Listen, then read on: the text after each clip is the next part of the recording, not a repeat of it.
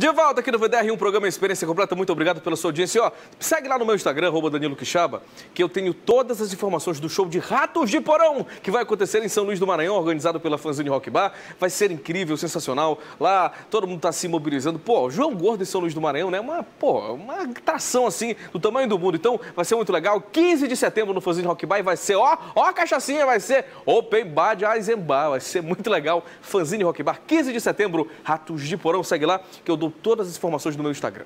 Mas, ó, mais uma pergunta de sexta do nosso Instituto VDR, buscando a raiz dos ditos e provérbios da sabedoria do povo. Coloca no ar o Instituto VDR.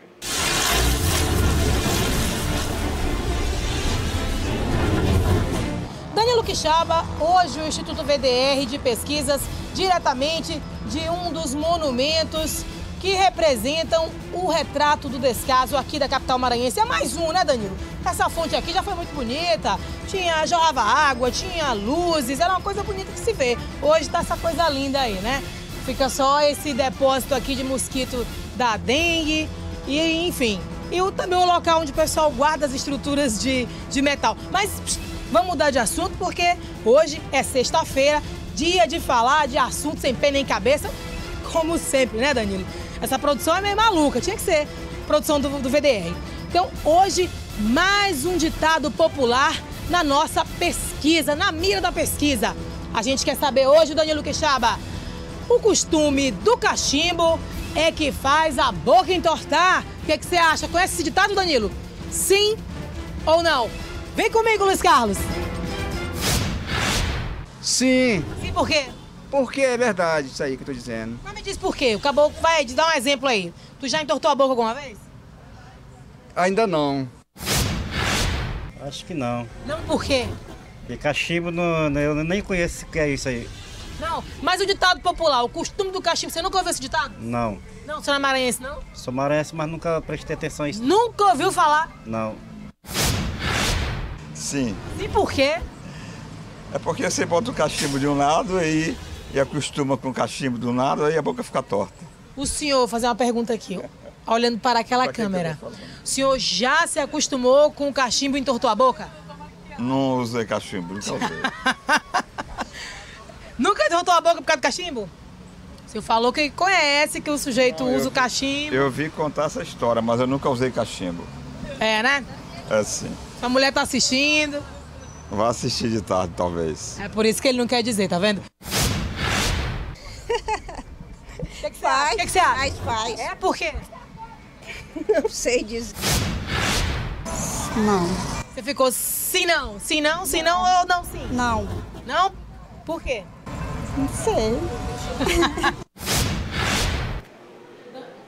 Me dá aqui, vem cá, Elinalva. Vem cá, Elinalva, vem cá, vem cá, vem cá, vem cá, por favor. Não, não vou fazer nada demais. Pode ficar tranquilo. Hoje é sexta-feira, me dá essa colher de chá.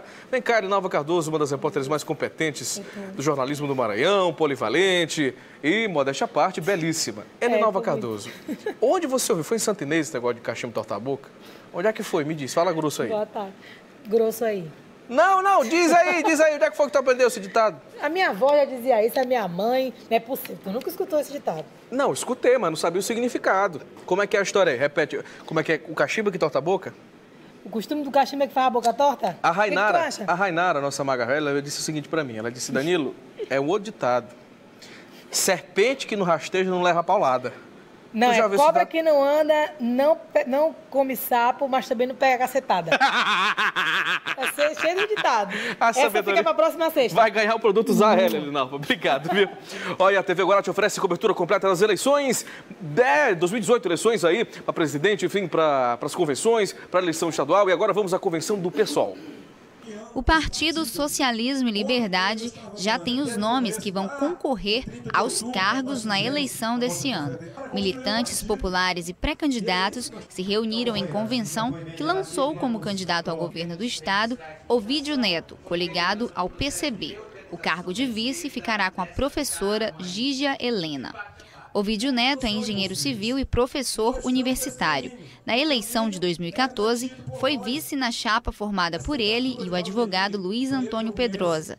Na ocasião, o PSOL conseguiu ser a terceira candidatura mais votada no Maranhão, de acordo com dados do TRE. É, nós temos, na verdade, seis eixos que nós vamos trabalhar no nosso plano de governo. É, a parte de. O primeiro eixo seria educação, juventude, é, comunicação e cultura. O segundo eixo é, trata da parte de saúde. É, nós temos o terceiro eixo, que vai trabalhar sobre opressões é, e segurança pública. Ah, o quarto eixo, nós estamos trabalhando com a parte de economia, né, tudo que torna, o que trata a parte econômica, como geração de emprego, renda, parte de previdência, seguridade social, é, gestão pública. E quinto eixo, nós vamos ter a parte de é, infraestrutura e mobilidade urbana. E nosso sexto eixo, que é o que a gente considera mais importante para o nosso Estado, é a parte de agricultura e meio ambiente. Esse ano, o partido lança 14 candidatos a deputados estaduais e 14 a deputados federais.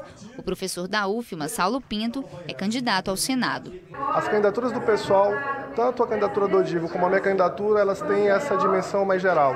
E, fundamentalmente, nós temos que lutar contra candidaturas é, que representam atraso. Para a elaboração do programa de governo, o PSOL Maranhão vai realizar seminários em conjunto com a militância, apoiadores e a sociedade.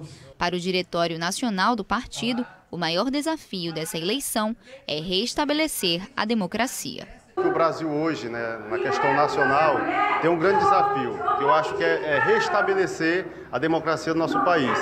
Eu acho que o processo né, de impeachment né, de uma presidente eleita né, pelo povo brasileiro em 2016 causou uma grande ruptura de um grande pacto social que o Brasil construiu né, e que foi é, implementado com a Constituição de 88. E o PMN e o PHS também realizaram suas convenções. Assista. Foi realizada na manhã desta sexta-feira a convenção dos partidos PHS e PMN. Os dois partidos definiram caminhar juntos na campanha proporcional, lançando apenas deputados estaduais e federais. Na majoritária, a opção dos dois partidos foi o apoiar o atual senador e pré-candidato ao governo do estado pelo PSDB, Roberto Rocha. De acordo com o presidente do PMN, o deputado Eduardo Braide, esse apoio vai por conta de ser uma nova alternativa para o Estado. Um projeto alternativo para o Maranhão. É, acho que é importante nós mostrarmos que o Maranhão pode ser diferente, que o Maranhão pode ser muito melhor. Essa foi uma decisão coletiva, não só do PMN, mas uma conversa entre o PMN e o PHS.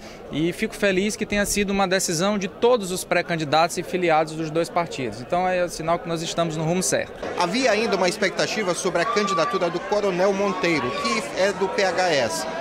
Essa candidatura foi descartada na noite de quinta-feira, quando o PMN e PHS se reuniram e definiram qual o rumo seguir.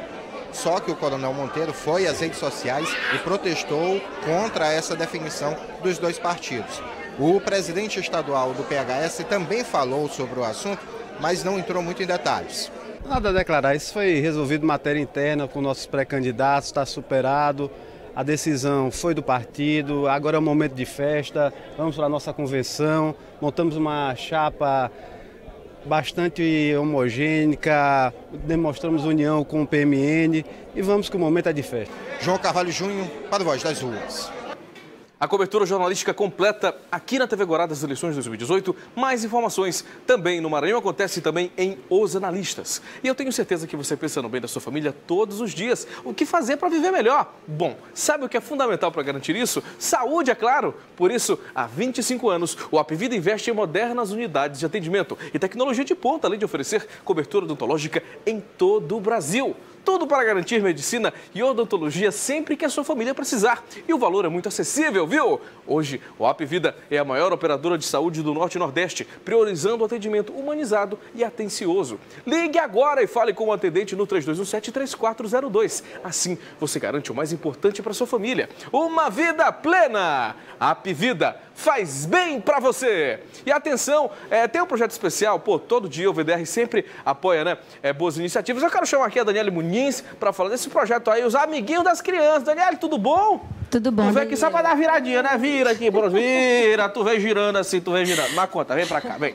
Conta uma coisa. Esse projeto está acontecendo, já ajudou muita gente. Como é que você está né, nessas atividades próximas aí para esse final de semana, enfim, para os próximos dias? Fala bem aqui, pronto, fale para a nossa televisão. Boa tarde, Danilo. O projeto já existe há 16 anos, na verdade. E esse ano a gente tem uma grande conquista, né, que é a realização da nossa sede, que a inauguração dela é amanhã, e a gente vai, estamos em trâmite de legalização do projeto.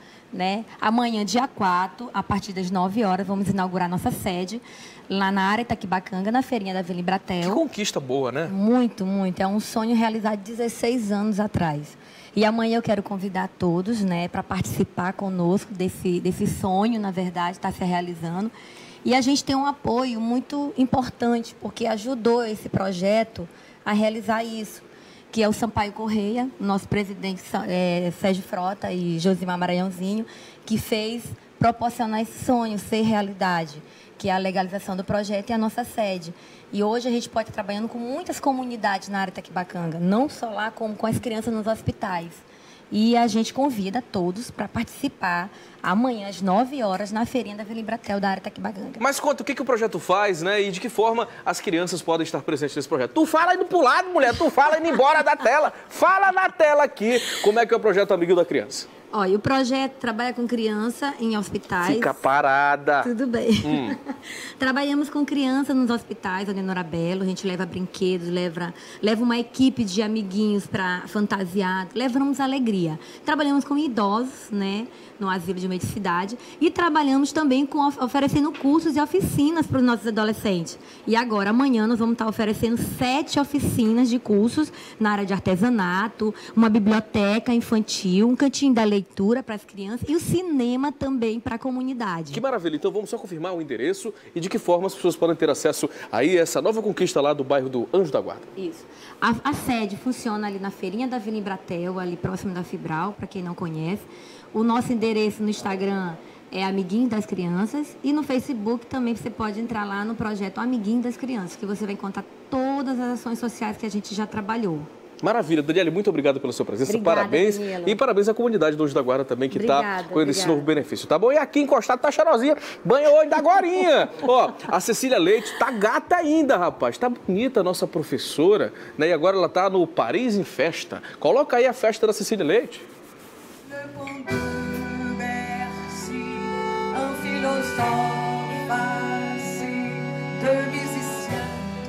Dona de uma voz sem igual, um talento musical de encantar, Cecília Leite mais uma vez volta aos palcos de São Luís para apresentar seu show Paris é uma Festa. O evento vai acontecer no Hotel Blue Tree Towers, no Calhau, um jantar especialmente francês.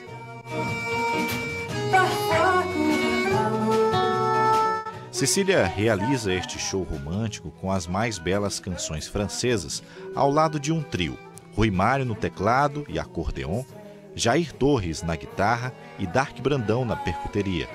Bom, e é com Cecília Leite que a gente conversa agora para falar desse show que ela apresenta aqui no hotel Blue Tree Towers, que acontece nesta sexta-feira, logo mais. Bom, Cecília, falando sobre esse show, a Paris é uma festa. Por que esse nome? Por que intitular esse, esse show com essa temática?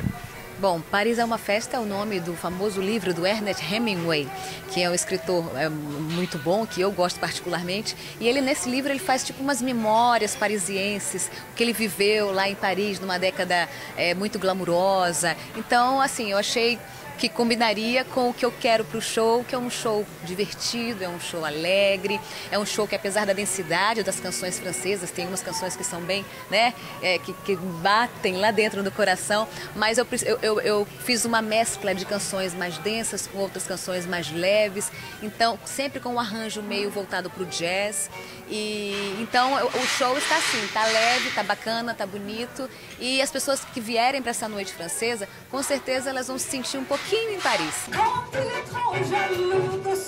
Você que está aqui em São Luís na sexta-feira à noite, vai um programa, vai se sentir um pouquinho em Paris, né? Então vai ter o jantar, vai ter o show depois, vai ter muita, muita diversão, muita emoção, porque as canções francesas são emocionantes. Eu acho que é uma oportunidade de ir a Paris sem sair de São Luís. Já pensou? Tu peux s'oublier qui s'enfuit les temps de malentendu et les temps perdus, à savoir comment. Cília Leite, uma carta. Quanto tempo, hein? Ah. Boas lembranças, enfim, vamos lá. 99103-2323 é o VDR aqui, é pra você ao vivo, botando pra viver. E a sua opinião, daqui a pouco tem Johnny Boy, Gutenberg Braga. Você vai esperar um minutinho aí. Coloca aí a opinião do povo. Boa tarde que chama, mande um abraço aqui, tô ligado. É o DJ Alex, ô oh, meu amigo DJ Alex do rádio da Sede Operária. Obrigado de verdade pela sua audiência. Próximo print. Meu nome é Reinaldo, moro no Turiúba, quero fazer uma denúncia. A BRK Ambiental está cortando água das casas porque não estão pagando. Não vale a pena pagar água, é muito fedorenta. Vixe! Tá dando coceira. Oh, meu Deus do céu, que diabo é isso das pessoas? Elas estão quebrando as casas e deixando assim mesmo, não passa nem o cimento, né? Elas não estão nem avisando quando vão cortar. Que isso, cara, absurdo. Isso aí é uma denúncia grave que você pode caminhar para o PROCON, viu? Isso aí não pode ficar desse jeito, não. Fedorenta para água, água dando ceroto, dando, dando curuba. Que história é essa do BRK? Eu não quero acreditar nisso. Eu conheço a comunidade do Turiúba e eu não quero que fique desse jeito. Segura aí que vem o Talk Chaba do jeito que você gosta nesta sexta-feira. Johnny Boy! E ele que é um, um coringa desse programa, Gutenberg Braga. Você não pode perder, não. Vai lá. Johnny Boy e Gutenberg no Talk Chaba hoje.